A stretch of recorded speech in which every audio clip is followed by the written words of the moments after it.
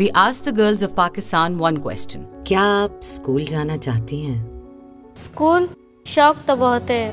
दादी बोलती हैं कि लड़कियों को स्कूल भेजने का कोई फ़ायदा नहीं। हमारे यहाँ लड़कियाँ स्कूल नहीं जाती। फिर मैं स्कूल जाऊँगी तो काम कौन करेगा?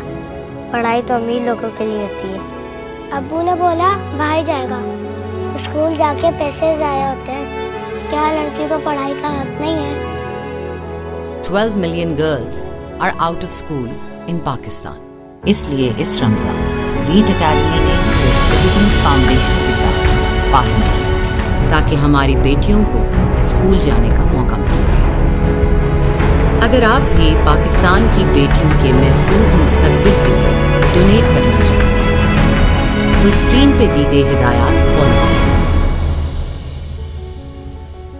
टुगेदर वी कैन हर अप